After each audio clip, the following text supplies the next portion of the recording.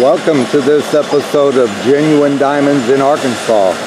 This morning we are at the Worthington Diamond Mine, just a short distance outside of Arkansas's Crater Diamond State Park.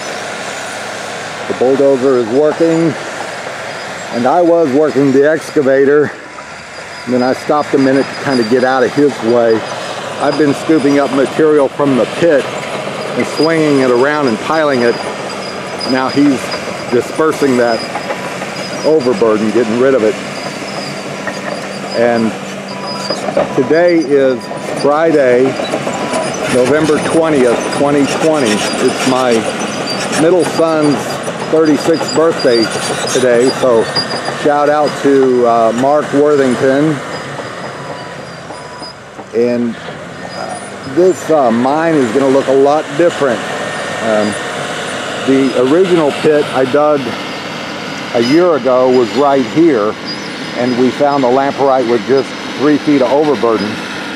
And we dug a lot of material out of here and boxed it up and shipped it off and we also processed some at our nearby diamond recovery plant and we found diamonds in it.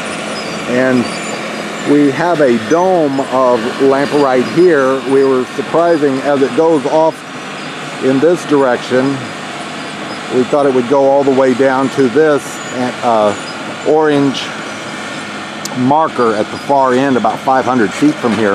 And it probably does continue that direction underground but there's too much overburden to follow it in that direction. So we're just going to clean that area and move some of our overburden in that direction.